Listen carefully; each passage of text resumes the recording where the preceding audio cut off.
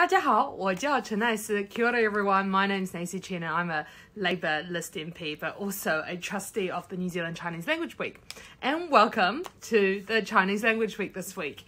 I just wanted to share with you all uh, some of the phrases that we've encouraged everyone to uh, challenge themselves to try and speak during the course of this uh, this year's Chinese Language Week. Five phrases in five days. So the first one has already been said by me at the very uh, beginning, which is 大家好, hello everyone, and also 我的名字叫, my name is 我的名字叫陈奈斯.